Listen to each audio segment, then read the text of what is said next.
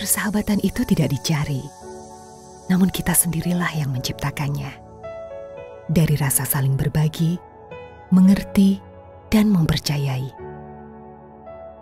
Berbagi kepedulian, ketulusan, dan kasih sayang tidak hanya untuk orang yang kita cintai, akan tetapi juga untuk setiap insan yang membutuhkan. Dari sini, kami memulai. Yayasan Ginjal Indonesia didirikan pada 12 Oktober 2016 di Jakarta. Kehadiran Yagin di tengah-tengah masyarakat penderita penyakit ginjal merupakan inisiatif Asyaihul Hadi, orang tua dari gadis kecil penderita gagal ginjal kronis yang bernama Viara. Dengan proses dinamika yang dijalani selama lima tahun, Yayasan Ginjal Indonesia tetap konsisten dalam menjalankan misi sosial dan kemanusiaannya.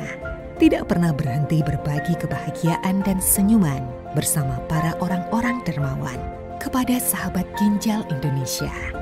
Perjuangan itu tidak sia-sia. Yayasan Ginjal Indonesia terus melakukan evaluasi dan koreksi untuk menuju organisasi yang maju. Akhirnya, Tahun ini kami memperluas cakupan penerima manfaat bantuan program Yayasan Ginjal Indonesia untuk pasien anak dan lansia yang tersebar di seluruh Indonesia. Beberapa tujuan yang menjadi perhatian khusus Yayasan Ginjal Indonesia. Pertama, program bantuan Yayasan Ginjal Indonesia lebih memprioritaskan pasien gagal ginjal yang kurang mampu atau yatim. Kedua, Yayasan Ginjal Indonesia menjembatani kesenjangan pengetahuan dengan memberikan informasi dan edukasi kesehatan ginjal kepada seluruh masyarakat Indonesia. Ketiga, menjadi wadah bagi pasien gagal ginjal untuk mencari kenyamanan dan dukungan baik dari orang lain maupun antar pasien. Untuk mewujudkan itu, Yayasan Ginjal Indonesia memiliki program unggulan yang terbagi menjadi beberapa kegiatan. Di antaranya, Rumah Singgah. Tahun ini, Yayasan Ginjal Indonesia akan menghadirkan rumah singgah. Upaya meringankan beban keluarga pasien gagal ginjal anak dalam menjalani pengobatan.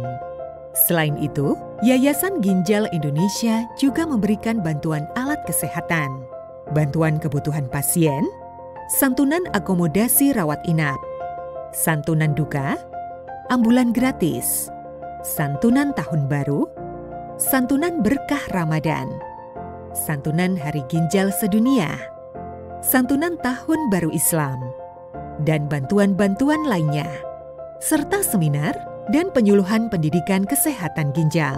Demikianlah Yayasan Ginjal Indonesia. Dengan segenap program dan kegiatannya dalam rangka berkhidmat dan berbagi kepada pasien gagal ginjal serta sebagai wujud cinta kepada negeri ini. Akhirnya, Yayasan Ginjal Indonesia mendapat dukungan dari sahabat-sahabat ginjal yang dermawan, sehingga dapat melangkah bersama sampai hari ini. Kepedulian kita adalah harapan mereka.